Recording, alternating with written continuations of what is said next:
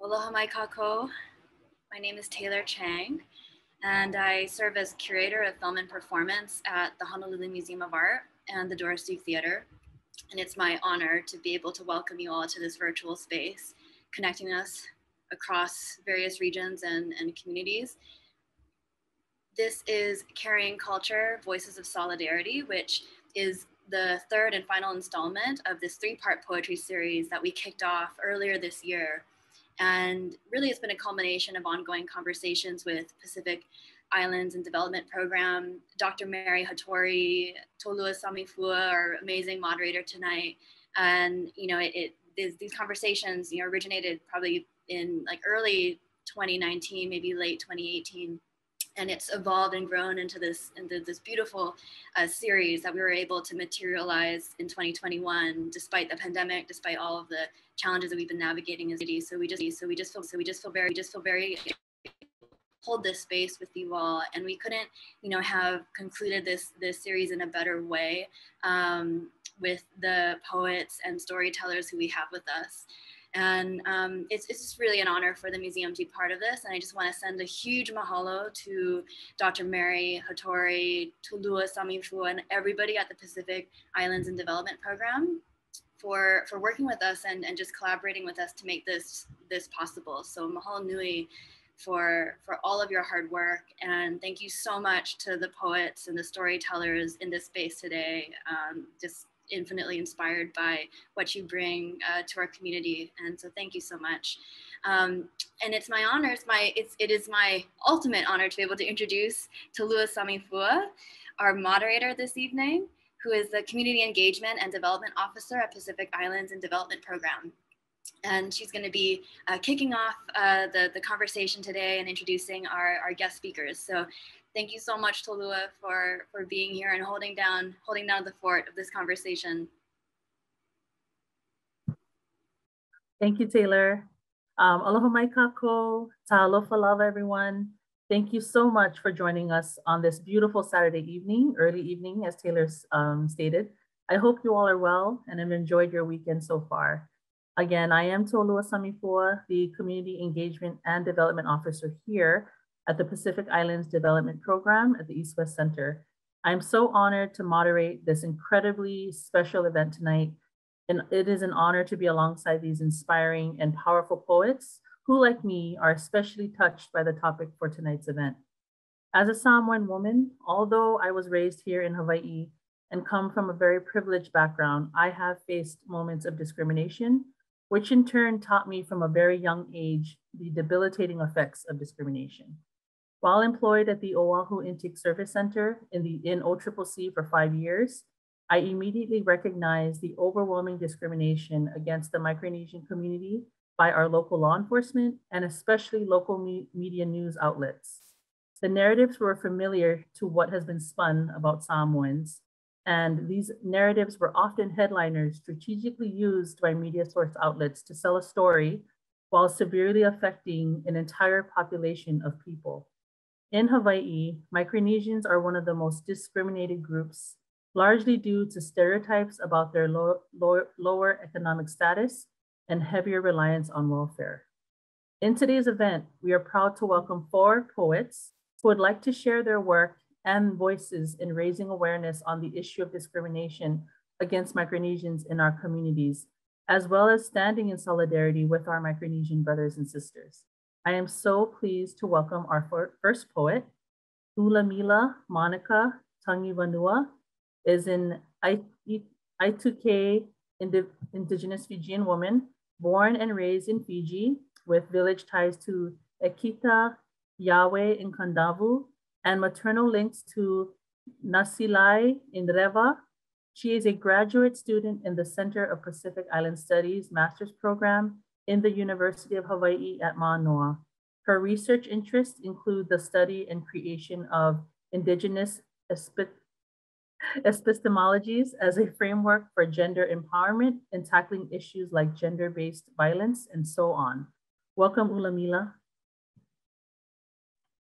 Uh, thank you, Tolua, for the for the great introduction. Uh, everyone, and aloha. Um, uh, today, just to kick things off, I wanted to um, share two poems um, that I hold dear to um, my heart. And the first one is titled um, My Mother's Dream. Uh, this poem was written as a tribute and homage to my uh, Fijian heritage, but it also, in some ways, talks about the roles and the dreams that I fulfill just being a daughter, a part of my Mataqali or clan, and an iTaukei woman. Um, it speaks to the understanding of the undeniable pride I have um, and in turn we all should have of carrying our ancestors in our names and our existence. And for a woman, the pride is knowing that we carry future generations through our own being and our own work. Um, and so the poem goes, I am the dream of my forefathers and the prayers of my mother. I am the daughter of my Vanua and the Salu Salu of my Mataqali. I stand firm on the land of my ancestors, confident in their wisdom acknowledge, acknowledging their heartache, tears, and strife, living out legacy throughout my life. I'm, I am in the marks that I leave behind, in the hope that those who find it also come to realize that the answer has always been within. Um, it's one of my first poems that I wrote, and I also wanted to share a second poem um, I just wrote. Um, it's titled When Brown Women Write. Um, it's a response to Lani um, Wen Piang's work um, that focuses on the discrimination and everything that, that brown women go through um, when they write from on, their own perspective and their own point of view. And the poem goes, when brown women write, the words transcend the pages, the boundaries, the seemingly perpetual co-construction of societal norms that confine, restrict, constrict. When brown women write, they do so with infinite care, because to care so deeply is to love, and to love is to fight, to push back, strengthen, and liberate. To be as unrelenting as the white tree during the cyclone season, and to be as calm as a clear running stream nestled in the foothills of the Mauna, each powerful in its own stance. When brown women speak, their words from love letters live for generations. Their voices pierce through the facade created by colonialism, capitalism, and the denigration of our self-perception, breaking chains that trap us in a mental prison ruled by deficit mindsets. When brown women speak, bridge the past, present, and future, the spiritual and the physical, the existence pays homage to a lineage those gone and those yet to come. Brown women sing, chant, write, rise up. Like Kumu Trask, words, spears, storms of light, shattering winds of hope. We are not American. We are not American. We are not American. Like Nana Teaiwa, motivated by love for Shenya, countering histories of pain and neglect, we sweat and cry salt water, so we know that the ocean is really in our blood. Like Auntie Grace Mera Molisa, amazing grace, commanding yet gentle, fearless in confronting oppression, an unrelenting fighter for women's rights, salvation for the lost, justice for the oppressed, and freedom for the enslaved. Brown women dare, defy, exist, like our nows brown sheroes, healers of broken hearts, miracle workers in the kitchen, whose ambers of Loloma still warm our memories, prayers protecting, powers flowing through, like you and I, finding ourselves, ourselves in these pages, answering the whispers of our kupuna, looking through tear-filled eyes, recognizing, remembering, I am life, I am strength, I am my people. Naka. Mahalo Ulamila for your beautiful poems. We are so honored to have you here with us. Thank you so much for sharing those beautiful words. Um, I'm honored and excited to introduce our next poem, our next poet, I'm sorry, uh, Dr. R. Mapuana Paia Aala Shizuko Hayashi Simpliciano, also known as Katana, is a hip hop ethnographer and educator In the early 80s, while still in diapers, Katana began to dance and rap along with her brothers, who performed locally in the popping and locking breakdancing crew called Ebony Express. As a teen, Katana became an award-winning female pioneer in Hawaii's spoken word and hip hop community. In the early 2000s, Katana was named as a distinguished Asian, Asian Pacific Island Gen Xer by Bamboo Ridge Press and was the 20,000 grand prize winner in the grueling 12 week long open mic contest sponsored by the Lion of Judah um, out of Zanzibar nightclub in Waikiki. I remember that. Katana's vocals and lyrical compositions have been featured on the albums of Big Every Time, which is BET, and the Ur Urban Island Hip Hop compilation, which was produced by the island music sensation Fiji. Katana has performed at the Steve Harvey Showcase, which is the Apollo of the West Coast in Los Angeles, California, and has opened up for the legendary hip hop group Public Enemy. Katana scored a recording deal with Kaho'ano Productions and together with Kamuela Kaho'ano wrote the album titled Kautika, which received the 2008 Hawaii Music Award for the category of spoken word and two New England Urban Hip Hop Awards. As a researcher and scholar, Dr. Hayashi Simpliciano uses performance ethno ethnography and hip hop to facilitate the creation of narratives in society. Welcome. I'm going to include uh, a link here of Dr. Uh, Hayashi Simpliciano's work so that you all can check it out because she's crazy inspiring. Um, and but I would like to welcome Dr. Hayashi Simpliciano, also known as Katana.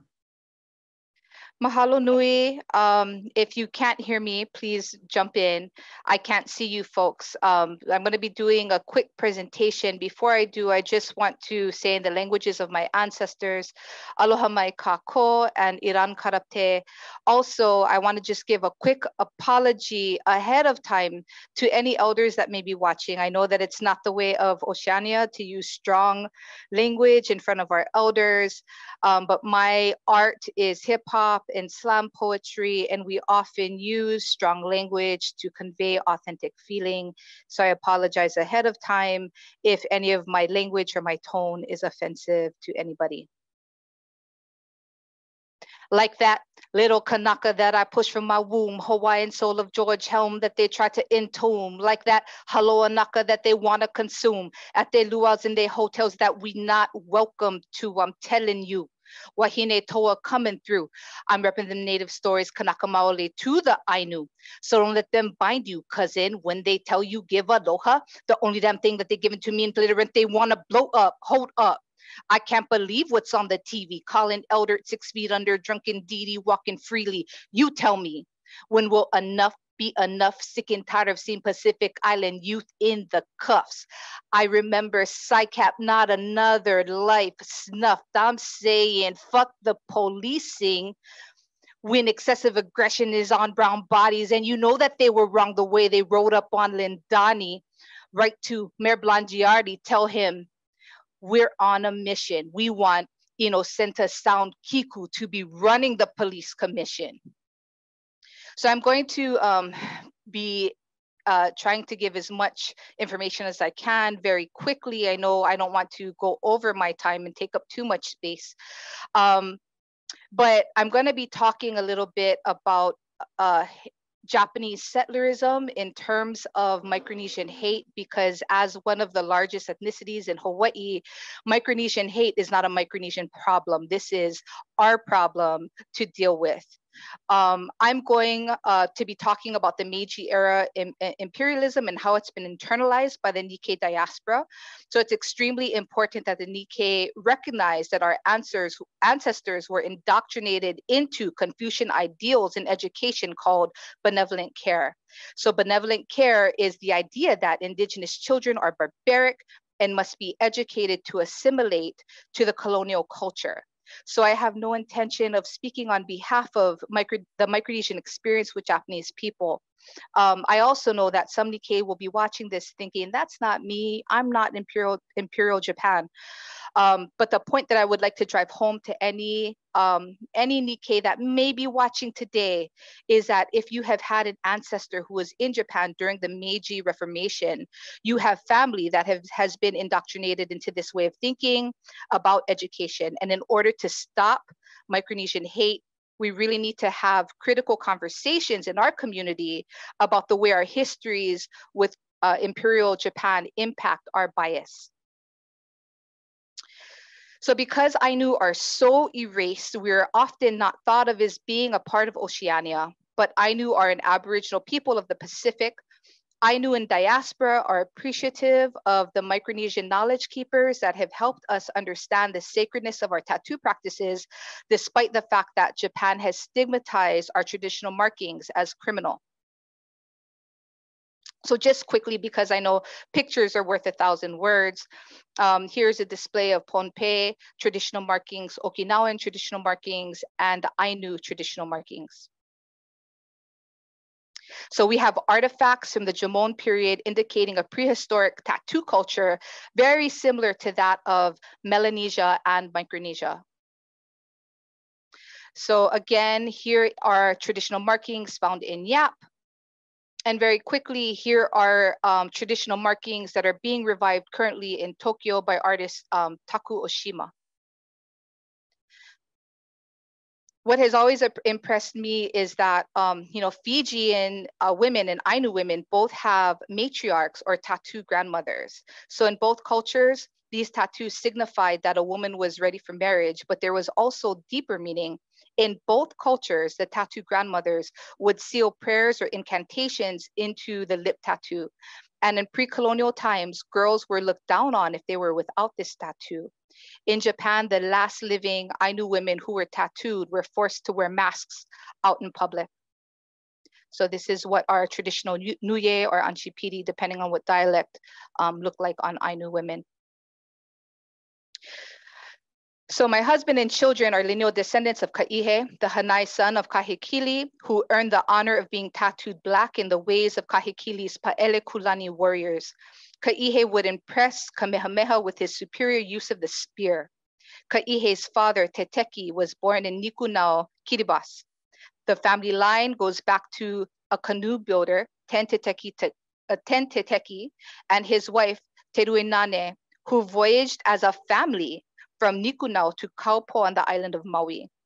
So this passage about Ka'ihe as a lead warrior in Kahekili's army tells me that we did not have the divisions between oceanic people that we see today in modern Honolulu, where colonizers have manipulated an environment where Hawaiians see Micronesians as foreign.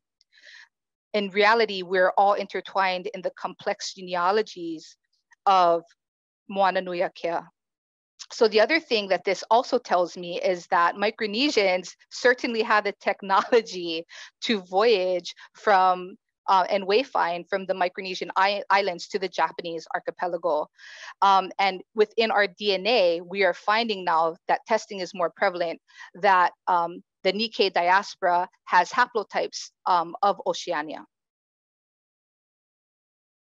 So let's go back to this idea of benevolent care and what I call the Meiji lens on Pacifica. So pictured here is the late Dr. Yosihiko Sinoto of Bishop Museum, who was called the grandfather of Pacific knowledge, which just drives me insane.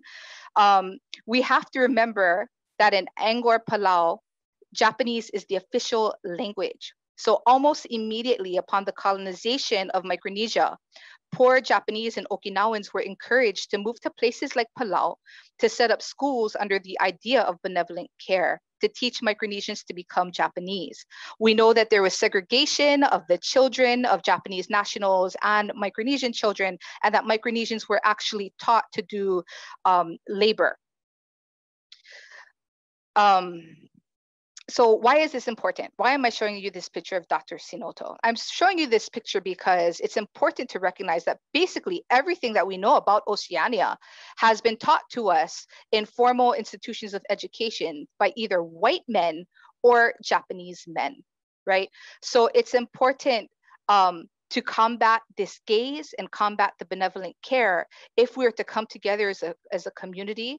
Um, as we're saying, stop Asian hate, we must be saying stop Micronesian hate. And also we must be dismantling as the Nikkei diaspora, the violent systems of education that our ancestors have put in place. So I have these questions here just to kind of throw out there to the audience.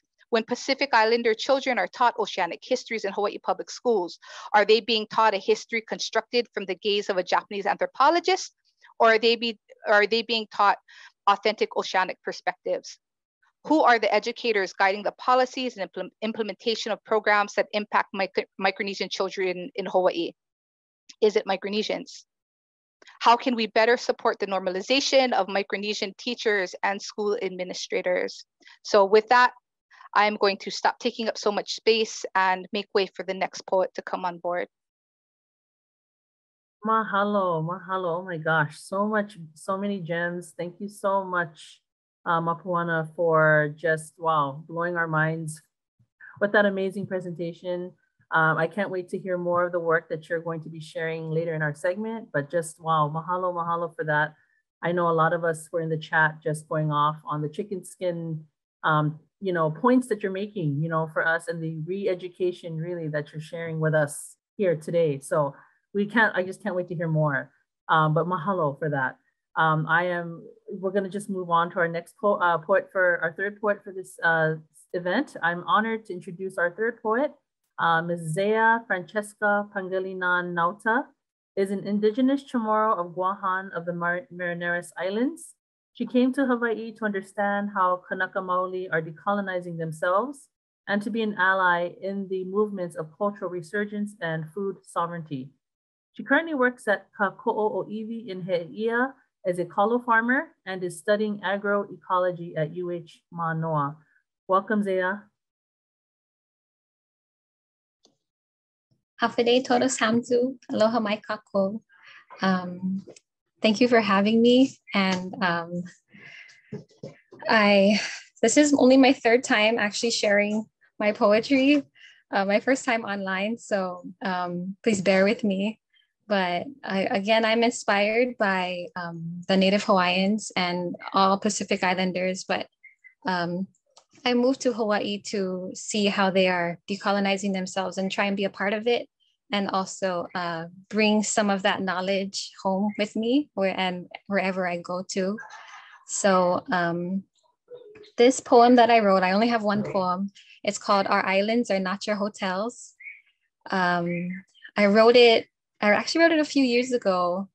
Um, I was on vacation with my uncle and we were watching TV in California and every other commercial was you know, Expedia.com telling everyone about cheap tickets to Hawaii and you can get shave ice and plastic lays. And it was just so frustrating and angering that that's what, you know, that's only California, but that's probably what's being shown across the continental US. And just that made me go down the rabbit hole of how everyone perceives us and uh, perceives us as in Oceania as a whole. Because, like, um, Katana said, we are all connected more than we realize and more than we like to remember. Um, so I was really mad at the tourists because I thought that tourism, tourism was the problem. But really, well, the more I thought about it and the more I wrote, tourism is just a form of the problem when the real problem is colonialism.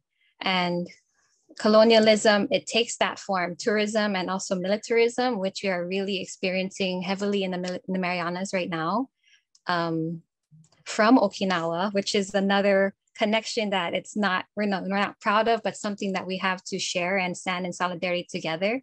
But um, colonialism also, I think the most prevalent and the most infectious form is a mindset that we are, you know, we are separate we are different and things are you know if i'm i'm better than them or they're better than so it can affect our own people and um, i think i wrote this poem to colonialism in all its ways shape and forms so I apologize if this makes you uncomfortable in any way, but um, I hope it's enlightening at least.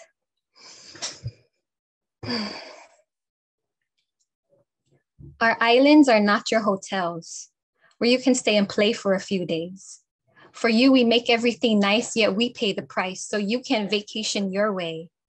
Your visits feed our economies, but we're starving ourselves. We're paving over our farms and buying food off of shelves. You swim in our beaches and you litter them with your trash, like your ignorant, arrogant attitudes, thinking our culture is worth cash because nothing to you is sacred. You adventure through our jungles like it's some kind of game, not respecting those who walked there first or the original name, blasting music and paces, eroding mountain faces, leaving traces for generations.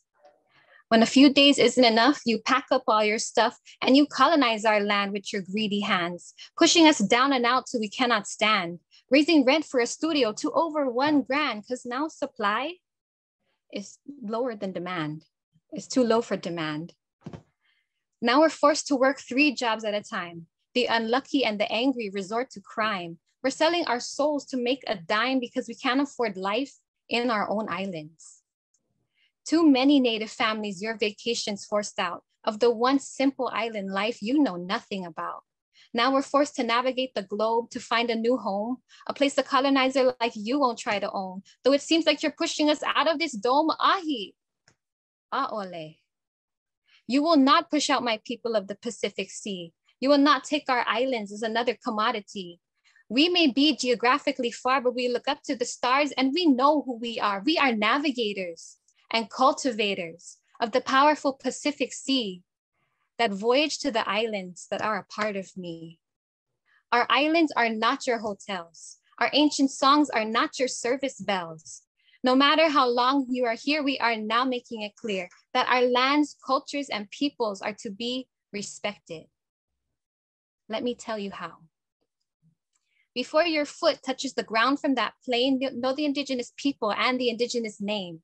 Before you land, know your place where you stand on the indigenous people's land, which was stolen. No matter what flags are flying over our nations, know that we have been here for hundreds of generations.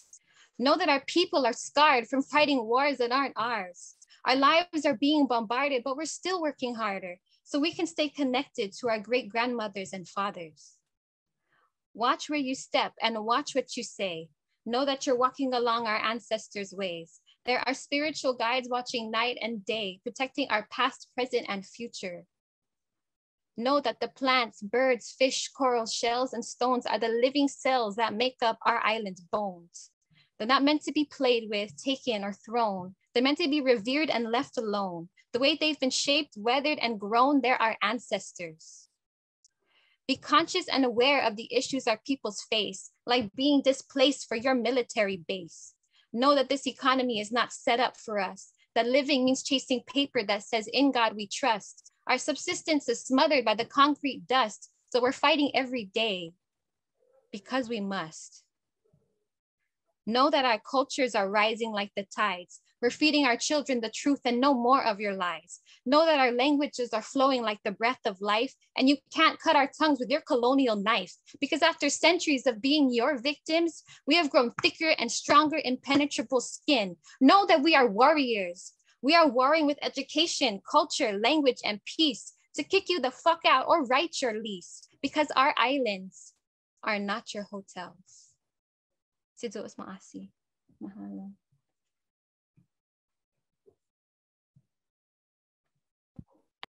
Wow. Thank you so much, Zea. That was, I had to just take a minute, you know, process all that. So strong and incredibly beautiful. Sorry. One poem, but oh my gosh, it just nailed it. I think um, a lot of us in the chat are going off. Um, it's very, very relevant to a lot of us here tonight um, tuning in. Thank you, Mahalo, so much for that. So incredibly beautiful um, you know, you you're saying this is the what the second or third time you fourth time you've shared it, but it's just rolling off so smooth and so passionate. Mahalo for that. so beautiful. Um, I just had to take a moment to kind of, you know, uh, kind of let it sit for a little bit. But mahalo for that. So beautiful. Thank you so much, Zea, for sharing your voice and being so brave and strong to do that. So we can't wait to hear more. We can't wait to see more. Um, but mahalo again for that. Thank you so much for sharing your voice. Thank you for having me. um, so thank you. We just want to move on to our final poet of the evening. Um, very excited and honored to present none other than Punahele. Um, but Punahele is a country folk Hawaiian from Makaha, Hawaii, that stands against anything that is harmful to Aina. He is a hip hop practitioner that uses music to create a soundtrack to Hawaiian struggles and frontlines. Punahele has been teaching community songwriting and poetry workshops to incarcerated and at-risk youth for over 10 years. The music he creates aims to build Indigenous solidarity in Oceania and beyond. Punahele is a Giant Steps EWC Fellow. Welcome, Punahele. Aloha mai kako.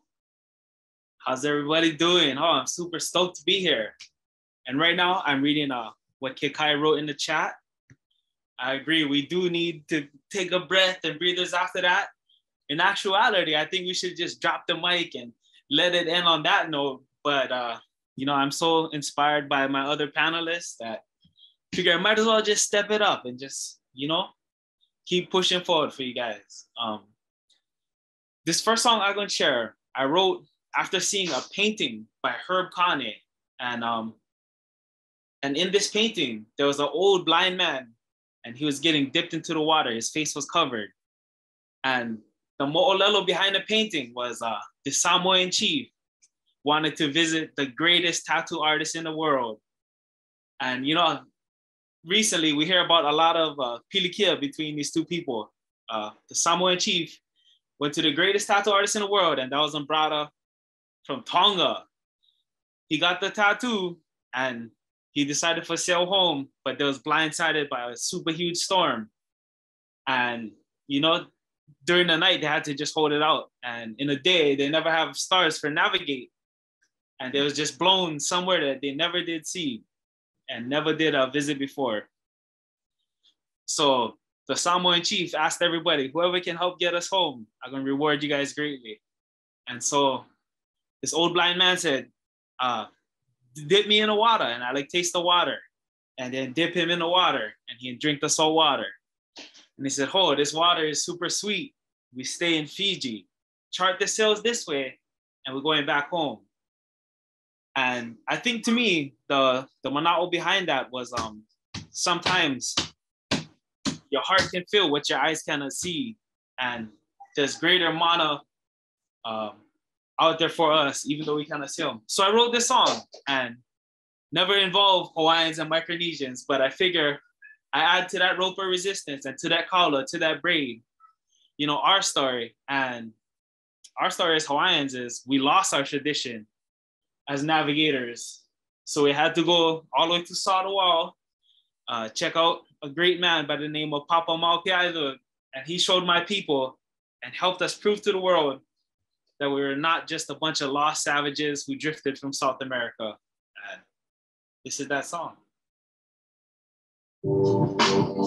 Woo! Yeah.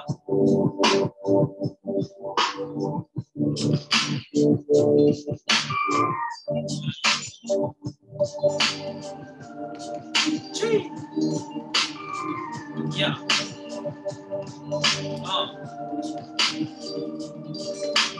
Shine like the sun and flow like the stream. We rise like the tides in the sea. All the realms of that if you believe. The heart can feel what the eyes can't see. Shine like the sun and flow like the stream. We rise like the tides in the sea all the realms of that if you believe. The heart can feel what the eyes can't see. We relearn navigation from our Micronesian cousins. We knew our vessels from the mast to the rudder with the stars in the night. We navigate the maze. The water that we drank was provided by the rain.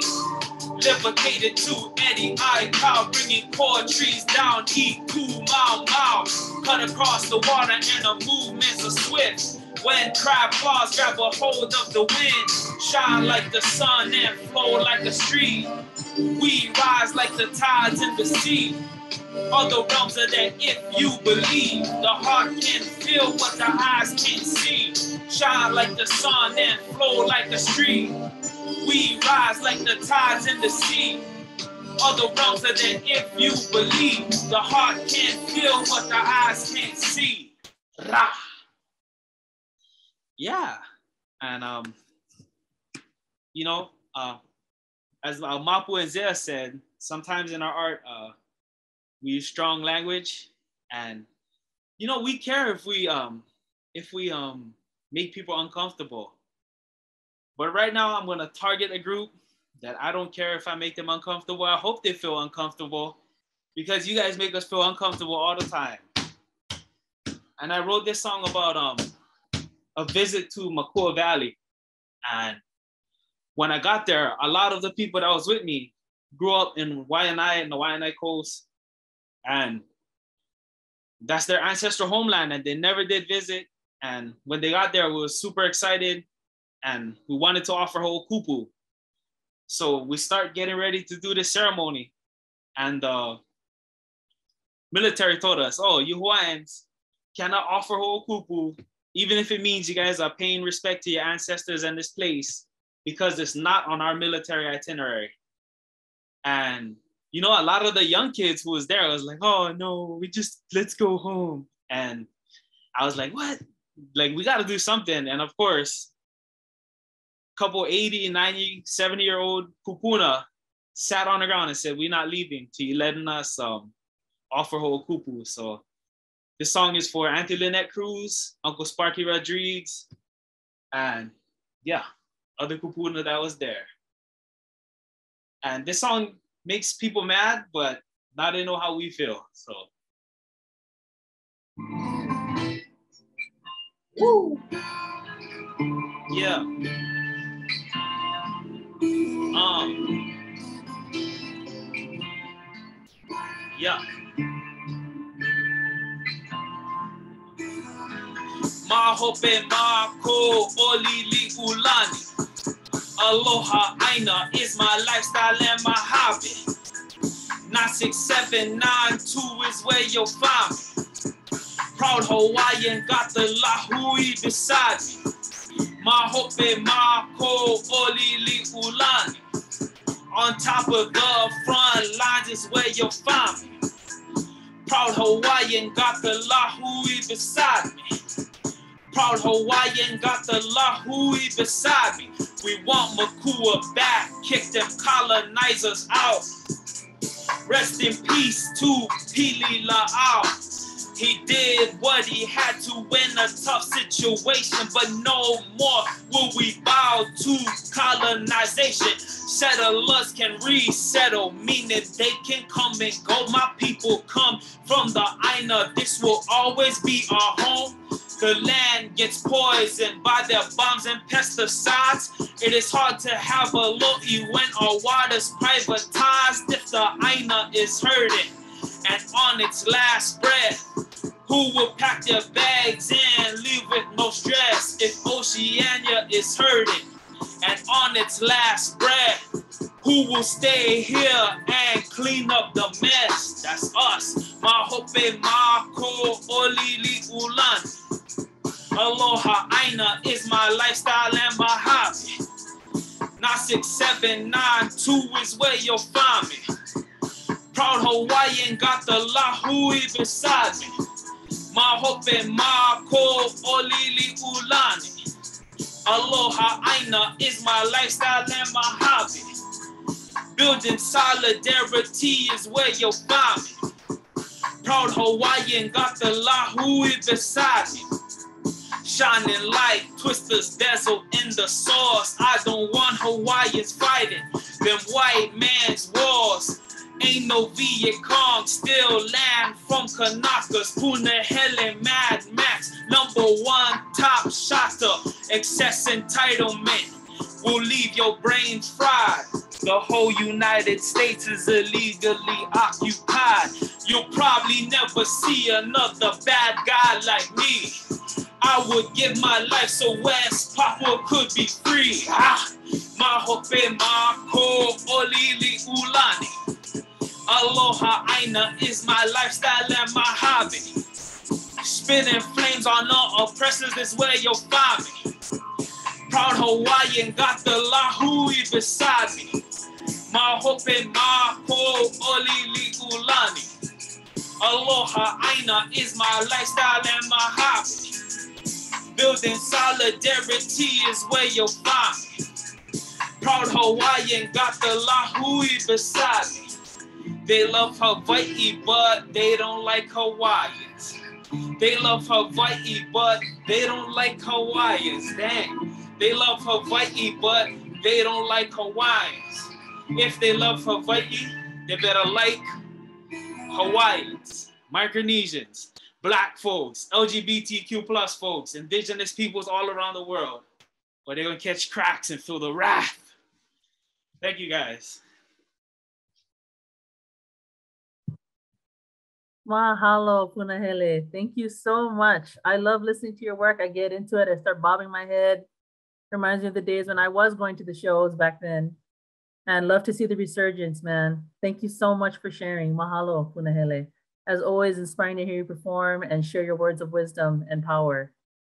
Mahalo to our poets for joining us and for opening us up with such beautiful and powerful demonstrations of aloha, mana, and friendship. We welcome you all and are so grateful for you all being here with us tonight. So we're just gonna move slightly forward. Just like you said, Punahele, I was, I, let's just take a minute to like feel all the work that you all have shared in that first 45 minutes of our event. Just wow, so much mana, um, a lot to unpack and a lot to really sit and really feel. You know, these words that you all have shared so far are just inspiring. And this is what this whole thing is about, right? Using art for art as a way to express ourselves, to share our frustrations, our love, and our aloha for our people and the people across Oceania and our Micronesian community here in Hawaii.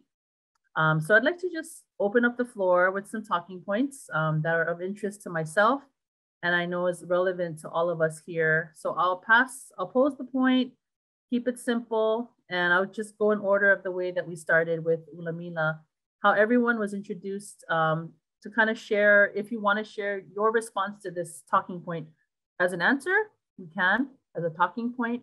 Um, but if also if you want to share it in the form of a poem or however you want, that's completely fine. So um, we'll start with Ulamila. Um, how, and this would be the same question for everyone as a talking point. How do you think poetry and or art can help educate or initiate conversations around post-colonization of indigenous people and the discrimination and violence against this um, indigenous people? Um, thank you, Tolua. Um, I think just um, hearing that question, I would say, you know, I've always viewed poetry or any other form of creative writing and creative expression as an act of res resistance and resurgence, right? Um, mm-hmm. From the perspective of like, you know, Pacific Island people uh, mm-hmm. whose creative ways of being were stripped away, stripped and taken mm-hmm. away from them, like the art of tattooing or veiqia in the Fijian culture, um, writing poetry, practicing tattooing, weaving, and any form of art is an act of reclamation, right? Reclaiming our voices in our own cultural spaces, taking back and also um, pushing back against post-colonial institutions that exist to oppress us. Uh, for me, it is a space to cultivate our own narratives, reframing against the ideals that seek to perpetuate alienation. Uh, mm-hmm. poetry is special in that it, it speaks to people in different ways.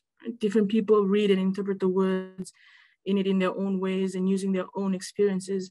And I think it is a way of affirming agency when asking, what does this poem mean to you? Um, mm-hmm. Many great Pacific writers like Haunani-Kay Trask, Teresia Teaiwa, Grace Mera Molisa, Albert Wendt, to name a few, um, express their thoughts and emotions through poetry. Um, and it is these emotions that inspire people, give light to the pain, trauma, and oppression that exist. And I think that um, it is it is an extension of our own being, connecting uh-huh. us to our ancestral forms of expression that was taken away, and invoking us um, a solidarity and movement. Mahalo, Ulamila. That was beautiful. Um, thank you for so much for touching on those. I think, yes, I for myself growing up as a Samoan woman, um, I, there were so many issues, you know, I had growing up was I am a military brat. My dad was in the military. And uh, as I got older, understanding the role of the military played in the Pacific really shifted my narrative of what I grew up with, that whole military background and saluting the flag and being thankful.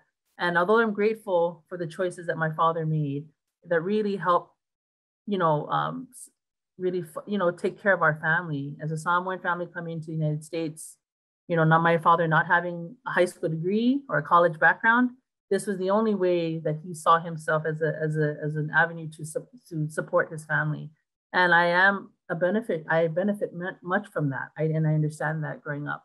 But you know, porch and but as I got older and started to understand my position as a Samoan woman in Hawaii, being on stolen land, um, understanding how the military played into that, that really, really was a, a huge moment of unpacking for me and still is. Poetry for me was a one way to even combat that identity of navigating as a Pacific Islander female, first of all, a woman in, the, in this society, and then understanding how I can factor into this community and how I can be of use to our community in a larger scale. So poetry for me has also kind of helped me navigate those difficult spaces. Um, but thank you so much for sharing that, Ulamila. I just, I forgot to share with everyone, if you do have questions that you wanna pose to our poets, please utilize the chat function, uh, the Q&A function that we have available to everyone. If you wanna ask questions, that way we can hopefully get to questions later on in the segment. Uh, I forgot to share with that earlier. But um, so moving forward to um, Katana, if I want to pose the same question, um, how do you feel poetry and art had, can help educate or initiate these conversations around post-colonization of Indigenous people and the discrimination and violence against Indigenous people. Mahalo. I'm going to um, drop a quick verse and then talk about how that all kind of relates to me in my mind. So forget about what you heard from that kitty cartoon Moana about that OG original goddess Kanaka celestial mama. Before there was a voyage, before there even was a Va'a, there was Haumea and her all-encompassing mana genealogy weaver, the seer of Vanana, placed that way up in the stars so navigators could go where they want to. Kahei a Haumea, starlight web up there. Said Wahine no can navigate, brought a peel back the layers. Haumea gave birth to our Pelehonuamea, who sailed from Kahiki to her home in Kilauea. Hina gave us the DNA to guide Wahine to the sea. Hina is the matriarch to spark our haplotype B. And for those who say in Wahine ain't been holova'a, what would the voyage be without the stars that Haumea did plot? Uh. So for me growing up, you know, as as a youth, um, in this occupied place that can often be very feel very violent. Um, it, i used hip hop as a way to just kind of reflect and decompress about what i was seeing growing up in um, Ewa Beach in the 90s where methamphetamine was just rampant in my community right? And so you know what i always tell people is that but for another time and place and culture, I may have been uh, trained formally as an orator by an elder in the Ainu culture or, or, or in our Kanaka Maoli culture, right? But in occupied, you know, neo-colonial Hawaii, right? I was without language, I was without culture. And so hip hop kind of became in poetry and words, hip hop be- became that way for me to express myself and then also restory um, our history in a way um, that could kind of challenge patriarchy and the status quo, right? So within that verse, I'm kind of pushing back on this um, suggestion that women cannot be voyagers, women cannot be wayfinders, and providing my own analysis. Um, and unfortunately, I do it in uh, the colonial language and not the native language, right? But I feel like for myself in my art as a hip hop artist, as a slam poet, that's kind of that push and pull that I I I walk in, um, where this process of oration, you know, this is an, an Aboriginal practice of the Pacific, right? Um, Kanaka Maoli did oration. Um, my Ainu people had had what was called power talk, right? Where they honored eloquence. Um, so I do that in the form of hip hop, in the form of spoken word. Um, and I try to re-story the things that I'm hearing and seeing and re um, re-sharing these these histories from our past um, through poetry, through spoken word, and through hip hop.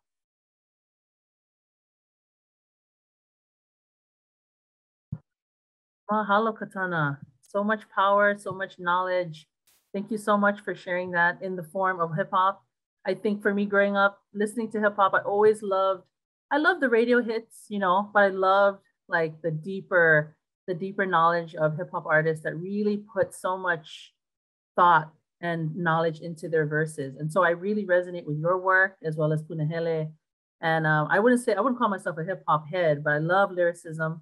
And I love how yes, we're using the English language to um, to share our not you know to share our mana and our frustrations, but way the way it hits and that everyone can understand in that way in that way you know it really just goes to show how much um, the creativity runs in our in our knowledge in our in our mana in our ancestors. Although we're speaking in yes the english language how much we can share and really um, educate not only Ocean people of Oceania, but those of not, you know, from the outside of Oceania can really um, resonate with the the words that you, I guess, the work that you have and the knowledge that you have, sharing that with us. So mahalo so much for that, uh, Katana. Can't wait to hear more.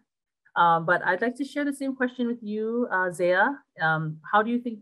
I mean, your poet, your your poem that you did share really just kind of hit the hit the nail on that. But how do you think your how do you think poetry and or art help educate or initiate those conversations around post-colonization of indigenous people and the discrimination and violence against them.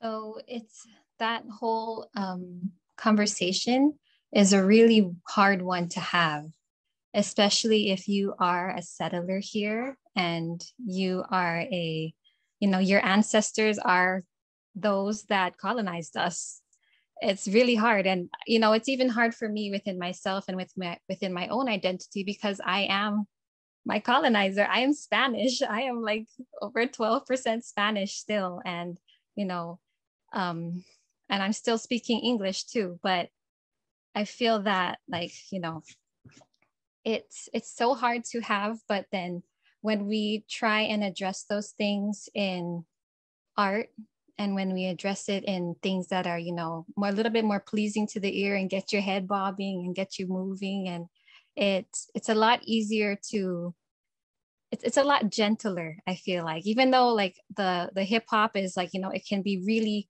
and some of the words are really direct and really strong. The fact that it's you know hakued into a beautiful message that i think that makes it a lot easier to accept and to hear um, yeah, I think that's that's what I got to say. Yeah, no, I agree. I think that's exactly where, as far as like Mapuana and Punahele's um, form of poetry and activism, for me, it's the same. Like you're listening to something that catches your ear, right? And then you start to really resonate with the messages coming in through their their verses, and it it resonates and de- hits deeper. And then you start to look at you know what else do they what else are they writing? What else are and then what other artists are out there that are doing similar work? And you, then you find people that you know maybe that are you know of your background that are doing the same work that you maybe you never would have even opened your opened your mind to or your ears to. So definitely resonate with that Zea as far as like the method in which art can introduce difficult conversation.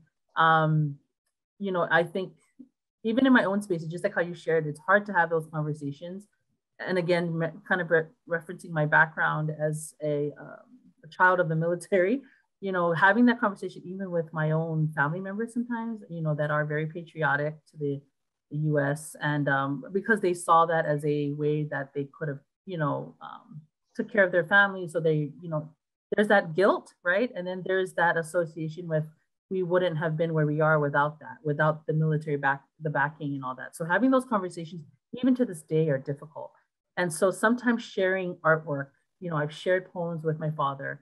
I've shared um, video footage, like documentaries with my father to kind of open his mind as to, you know, even as a Samoan man, like you're still, your mindset is still controlled by that imperialistic colonization thinking, right?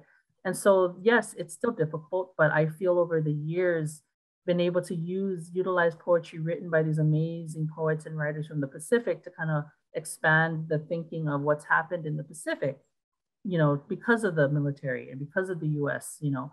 So yeah, definitely resonate with that, Zea. I think poetry for me, it was one way to kind of open up those difficult conversations.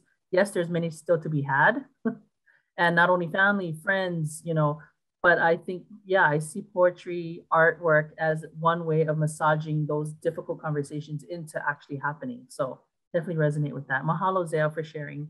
Um, and then Punahele, same with you. Um, again, your work is inspiring. You are, you are doing the work through um, poet, through your hip hop, uh, through your work, as well as uh, Katana. But can you share a little bit how you feel that um, poetry and art does help to initiate those conversations around colonization of indigenous people and discrimination and violence against them? Yeah, I feel as um, poets and lyricists, we're alchemists, uh, we're mystic beings, we are magical. We have the power to uh, turn hewa into pono and to write our ways out of uh, pilau situations. And I'm super like honored and blessed to work with Sarah Fang and Taylor Chang. Um, with an organization called Sound Shop. And um, I also volunteer and teach incarcerated youth at places like Hale Ho'omalu. And I guess by giving them the opportunity and writing, giving people like us the opportunity of having writing prompts and writing all of our problems down and looking at it, now it's it's not your problem. Like you get to look at it from a way that it's not your problem. It's not your trauma that you have to deal with. It's just trauma on a page or in the form of a song. And just by releasing it, it's healing. And I also took a food sovereignty class with uh, Kumu Kahala Johnson. And um, he talks about um, the readings that he gave us, talks about the Raramuri people in uh, northern Mexico. And everybody kind of thinks that they sing songs because they're trying to party and celebrate the harvest, but they're singing songs to heal the land and to strengthen the community and everyone around them. And in the writing workshops that I teach, uh, we ask questions like, what in regards to your culture, what is the source of your wealth? And you know, uh, the same day we asked uh, why are we racially profiled? And a session like this created a song like this. And I feel like art is our best weapon. Music is our best weapon. People, it's hard to rebuttal a good poem uh, if you're not poetic, and most of our oppressors are not as blessed as us. Um, I was headed in a towards a dark path as a kid when I was I remembers and Starsky's age, and you know I was riding in stolen cars, and I was taught how do you say negative things to survive. A lot of our mentors in our in impoverished communities. As how Nani says, Haunani-Kay Trask says, where there's crime, there's poverty. They teach us how to shoplift. Like, let's go to sack and save. Because when I was your age, I had to starve. And they teach us how to get food from these col- colonial institutions and how to survive. And like, I'm not proud, but, um, and even though that's negative, they kind of, they did that because they cared about me. They didn't want me to starve. And yeah, music kind of helped me. And yeah, I'll stop babbling and I'll share the song. Yeah.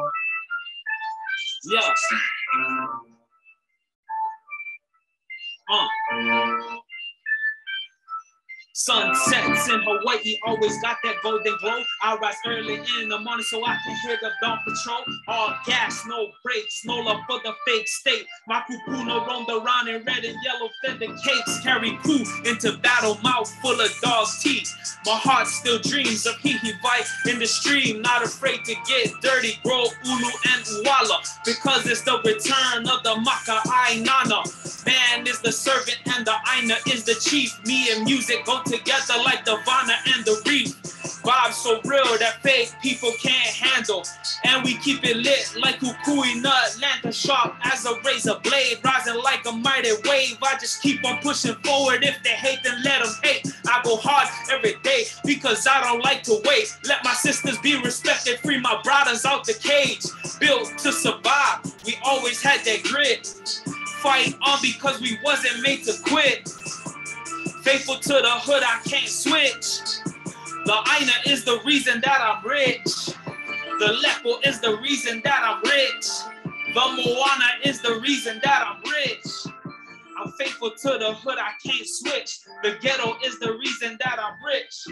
I am the voice of the streets, ascending through the fog, a product of the slums, young, brown, and pissed off. The cops arrest Hawaiians to serve private corporations. I'm here to protect the ghetto from their gentrification. My people don't want much, we just want self determination. Don't join the military, learn hollow cultivation. I use my words as weapons against native dispossession. I'll gladly go to hell if there's no Hawaiians in heaven. I never said that I was perfect, but recognize that I ain't fake. I survived situations that made other people break. Kill them with aloha. I don't spread hate. Hoki ho'i aina is a way to make Hawaii great and systemic oppression. No surrender, no retreat. They killed, I remember, and he could have been me. My people fill the prison, so I don't like the police. Arrest Kupuna on the mountain while rapists run free. So it's FTP, ACAB, 40. 93 or I ride Route C.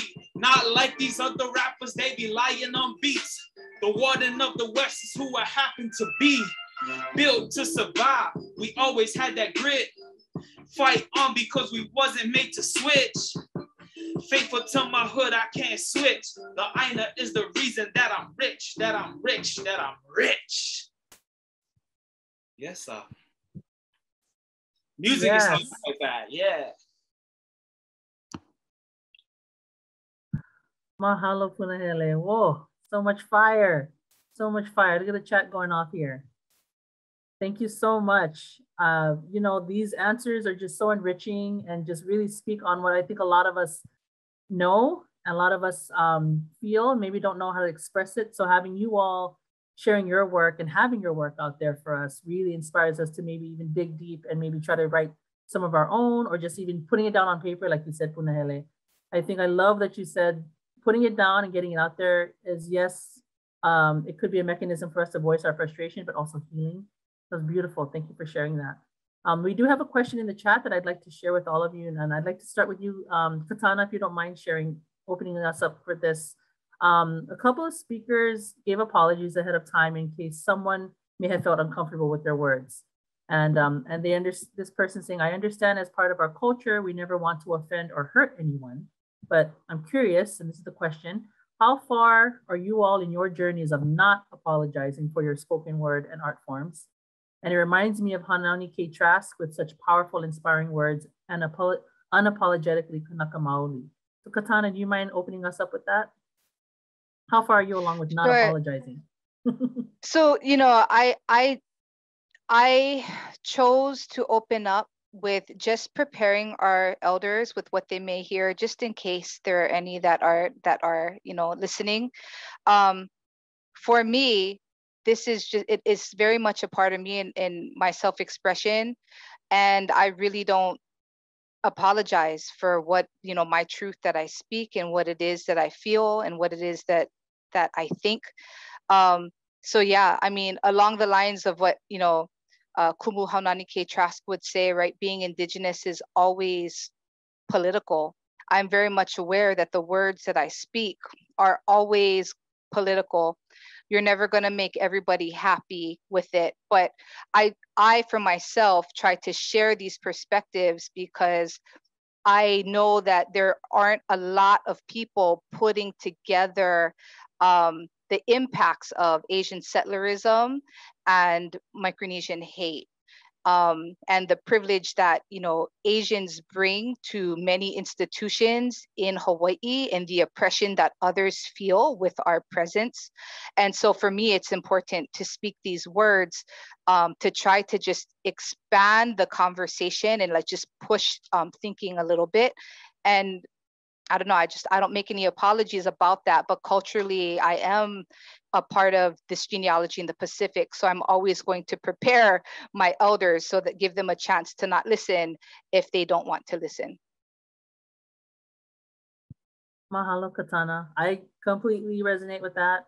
Um, being a woman in my culture, in the Samoan culture, uh, being modern, there are times there are things I would just want to just blast off to some of these, you know, some of the elders that speak. But I am again, I am cognizant of my surroundings, of my cultural background, and you know, again, sometimes the cultural background can be inspired or motivated by, you know, colonial mindset sometimes. Um, but at the same time, it's like you want to share your work and, you know, at least sharing that some of this may, you know, offend you. Some of this may be something you don't want to hear. And at least you're giving them the option to either opt out or just be prepared to uh, hear some words that they may not be ready to hear. But how about any other artists out there? Any of you are, would you like to share what your journey is as far as um, not apologizing for your work or what you're about to share with an audience?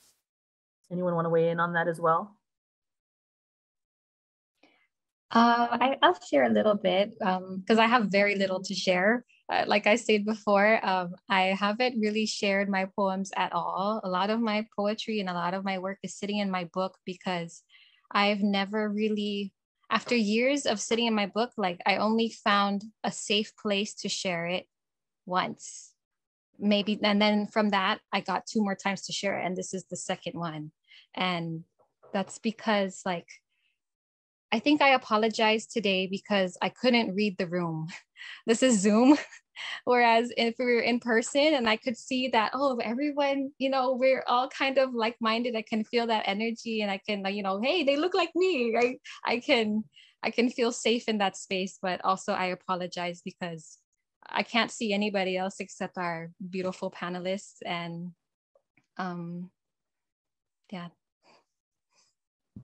no, I'd like to, I, I like that. I, I think that answer is also interesting as far as like, when do we, um, I think for me, it's like, when do you get to a point where you're going to just share, you know, so, so I guess following through, following up on your question, Zea, or your answer is, if we were in, you know, in a face-to-face experience event and you saw that you were in a room with nothing, with no other Pacific Islanders, and you were just in a room with, you know, non-Pacific Islanders.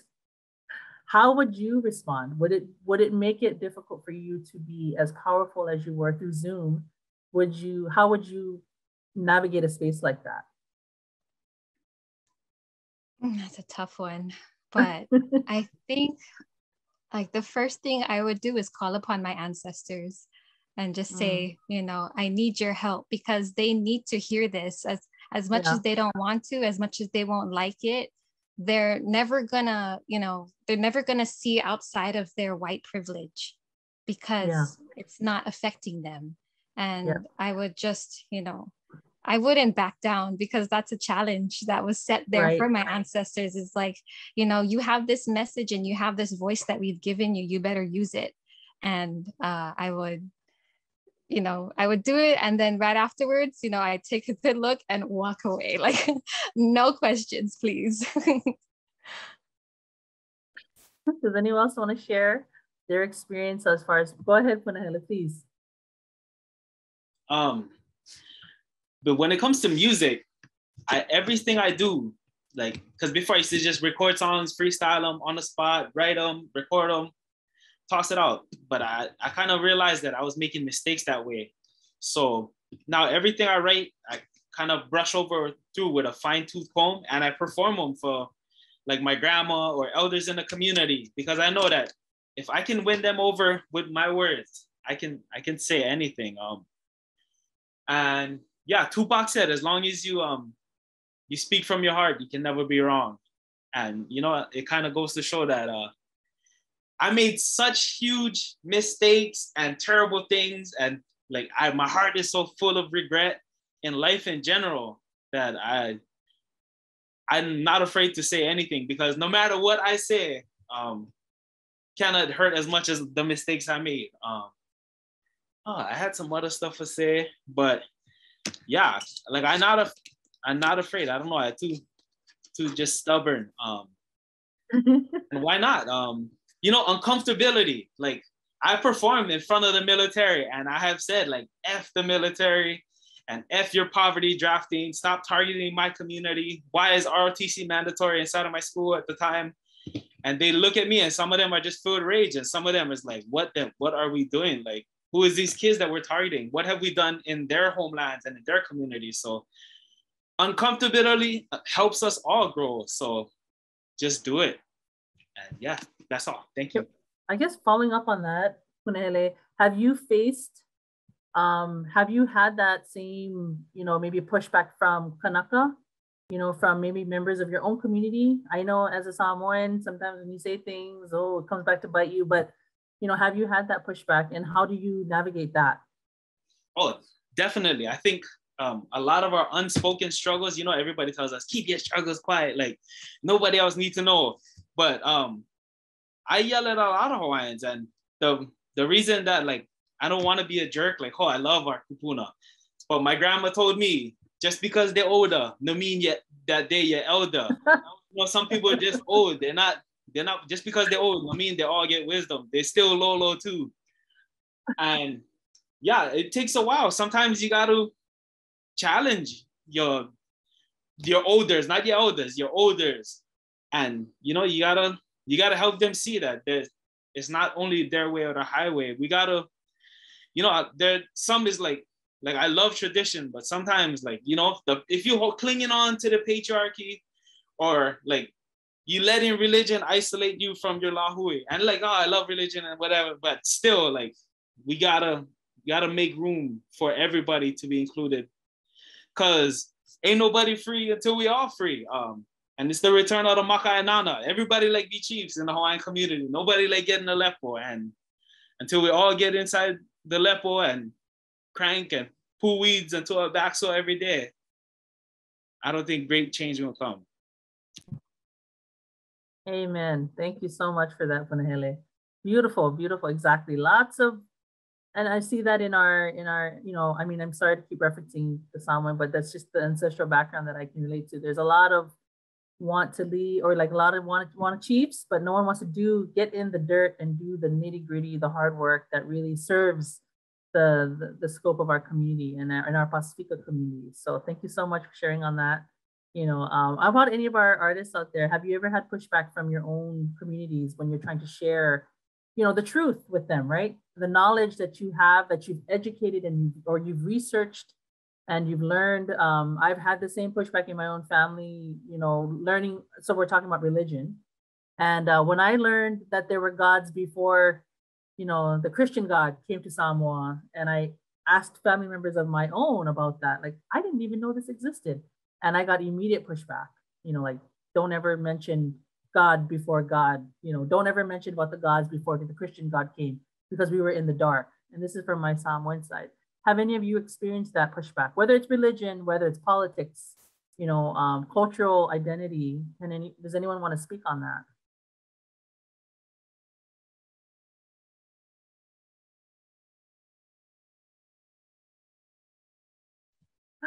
I know that's a tough question, but um, but we can always come back to that as well. I do have one more talking point. I know we're running down on time here um, that if anyone, and this is to anyone, whoever wants to answer or share work to, as a response to it, um, can you share how some of your work um, has helped raise awareness around the issue of uh, blatant discrimination against Micronesians in Hawaii? And I think of some of you've already done that, but uh, maybe like what do you hope to see more of, especially coming out of the pandemic? You know, what do you hope to see happen in our communities, local communities here in Hawaii, as far as raising awareness to on the discrimination here in Hawaii against Micronesians. Again, sharing a little bit about my background working at OISC um, as an intake worker at OCCC. It was very disheartening to see so many, not only uh, Micronesians, but just Pacific Islanders in general coming in, Kanaka Maoli, Samoans, Tongans, um, different Micronesian um, backgrounds coming into the, the jail. And then not only facing the discrimination in the jail, not getting the translation services that they required, um, and then seeing them in the headlines, the, how they're portrayed in the media.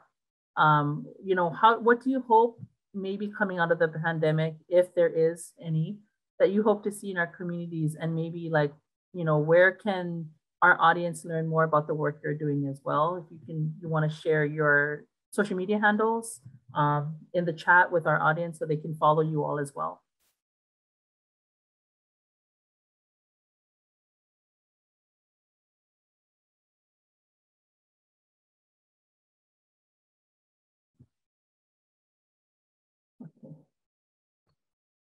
So I could share a little bit. Um, when I first shared that poem, like I I wrote it, or when I first wrote that poem, I wrote it with Hawaii in my mind because that was what the that was what the commercial was. It was about, you know, um, continental people, Americans wanting to go on vacation and to Hawaii. And but the the way that I think this can um, that that poem in particular and and um, also a lot of our work here together is uh, parallel like to Micronesian and and like all the oceanic experience. It's if I wasn't if I didn't state my background, if I didn't say my ancestry, who I was, and I shared my poem, everyone would automatically you know, identify with it, you know, locally here in Hawaii, like we all felt that. And that I think itself speaks to, and then if I mention my my ancestry afterwards, that speaks to our parallels and it speaks to our connections. And even though it's not necessarily a good thing that connects us, it's just another way for us to stand together and for us to work together and reconnect because we all face the same problems. And um, as we're, you know, Epeli Hau'ofa said, we're not, we're not, you know, an island or we're not an ocean full of, I can't, I'm sorry, I forget his actual quote, but we are a sea of islands. That's the thing. We are connected by the ocean. We're not separated by it. So let that help us move forward together, hand in hand. Mahalo, mahalo, Zea. Does anyone else want to speak on that or share their perspective? Or I do have another question that I'd like to pose if no one wanted to speak up, speak right now. Okay, so this is specifically to Punahele and Katana. Um, as Polynesians, Micronesians, and Melanesians, have you all ever had pushback for sharing your art form in hip hop as, as a form of hip hop? Um, have you had any have you had any pushback from our own culture, um, like from the Indonesian cultures or from maybe like African American cultures because you're using the form of hip hop as sharing your um, work. That can go to Punahele or um, Katana, whoever wants to share first, if you want to. Sure. Um, I so I'll I'll jump in there, and then I know um, my brother Punahele probably has a lot to say on this, but I'm gonna kind of answer a little bit of all the questions because it it kind of rolls into this, right? So with the question of whether I've gotten pushback from my own community for presenting in the way that I do. Um, so I understand that very much, you know, I am a Asian presenting female. Uh, I have a Japanese last name. Um, and what hit me really hard today is when Zea said, you know, I am my colonizer, right? So I am Ainu, because my my ancestors went through a horrific period of enslavement and rape and human trafficking at the hands of our Japanese colonizers who are also my ancestors, right? Um, and so I've, in my experience growing up as a hip hop artist, where I have faced the most silence has actually been from um, male MCs. Number one, just because I'm female. Um, so I think Punahele and I probably had very different um, perspectives on this. And you'll hear me talking a lot about just uh, in my work of just um, combating like the male gaze um, on on you know women and on history in general. Um, but there's been a lot of that kind of tension locally with male MCs in terms of not wanting to, you know, hear what I have to say. Um, but again, I don't apologize for my work, right? So I keep moving on. If it's not for you, it's not for you. Um, and I got into hip hop originally with my brothers. So my mom is Italian with, you know, African heritage. My brothers are actually black presenting. Um, so hip hop back in the back, you know, the, the 70s and 80s, right? That was a way for them to reclaim culture. Um, and so uh, and that was a source of pride. So I grew up rapping with my brothers. Um, they were break dancers. Um, they they would freestyle, they would beatbox, and I just kind of naturally did that.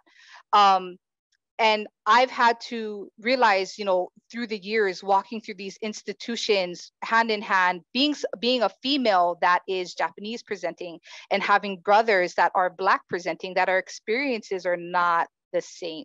They're not.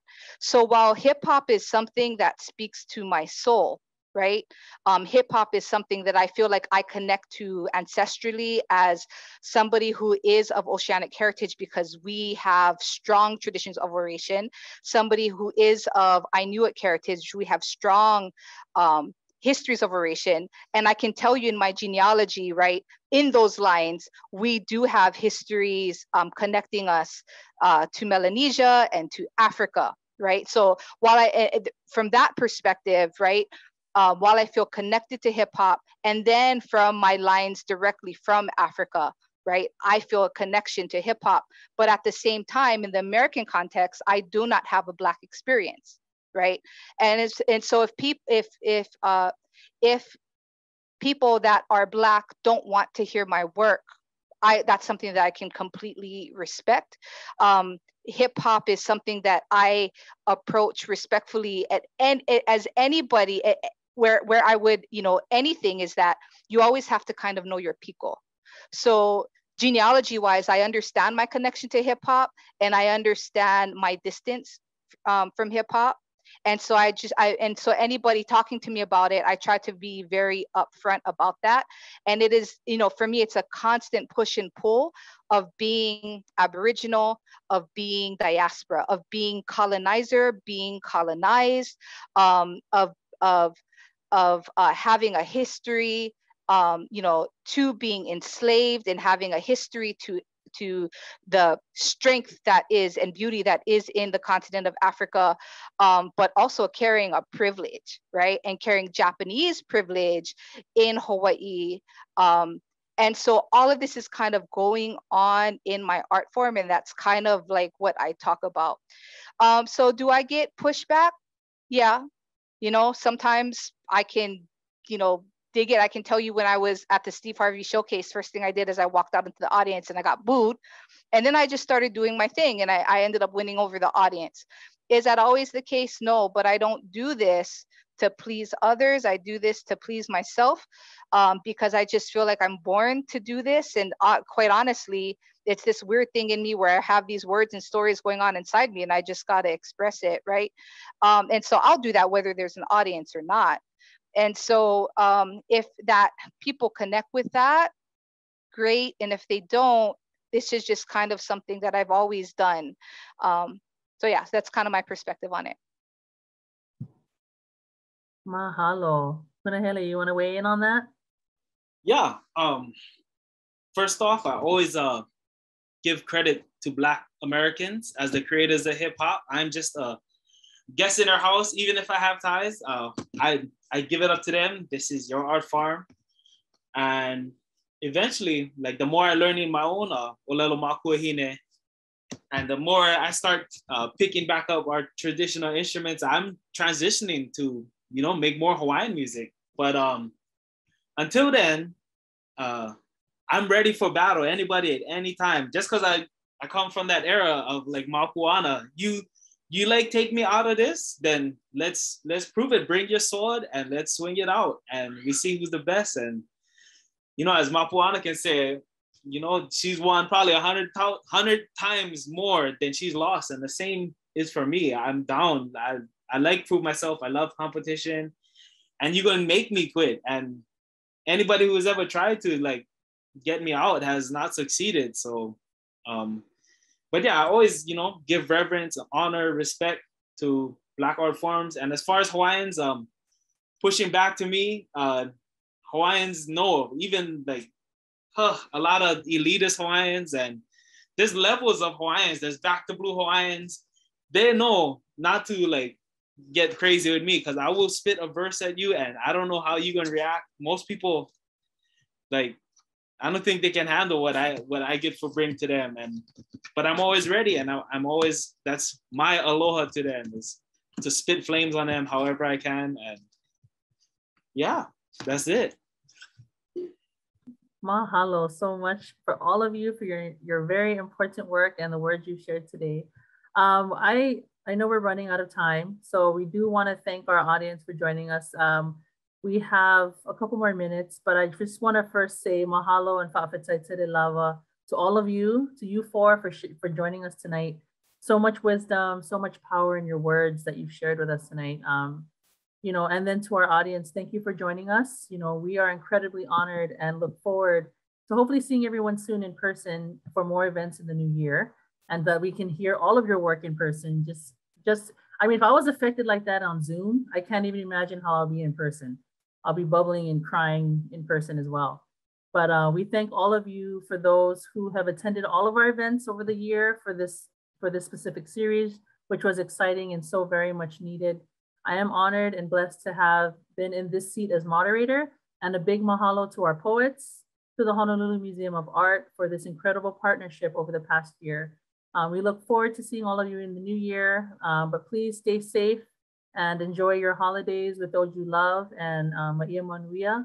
So in closing, I'd like to turn over the mic to our interim director um, for the Pacific Islands Development Program, Dr. Mary Therese Perez Hattori. Thank you so much. Si Yu'os Ma'åse', uh, Vinaka Vakalevu, Mahalo.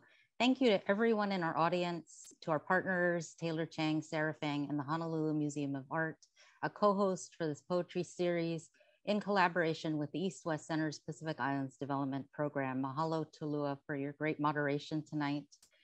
And I want to share deep gratitude to our poets for standing and speaking in solidarity against the rising discrimination and the diminishing aloha for Micronesians in Hawaii. Your poetry resonates strongly and provides pathways for people to open their hearts and minds to challenging ideas like our complex personal histories that contribute to social disharmony and discrimination. As a daughter of Greater Micronesia, a native of Guahan, one who has been working with and advocating for social justice for Micronesians in Hawaii for many years, there are times when this work of advocacy is dispiriting, not just for me, but for my Micronesian and Pacific Islander cousins who strive to raise awareness and fight against discrimination. The words and wisdom, the honoring eloquence of our four, poets, and the presence of everyone in our audience has been uplifting and energizing. I am inspired and reinvigorated by all of you. These events lift our spirits and provide pathways to multicultural understanding and appreciation, aligning with the vision of the East West Center and Pacific Islands Development Program, a vision of advancing a peaceful, prosperous, and just Asia Pacific region. Let this event, let these poets and their words and voices be a call to action to each of us to stop the discrimination, to stop tolerating racist jokes and damaging speech, to speak out against all forms of racism that we see in our societies, in our homes, our neighborhoods, our schools, and our workplaces, and uplift those who are marginalized. Let us all work together to create a society where peace is built with justice and justice is guided by aloha. Thank you and mahalo.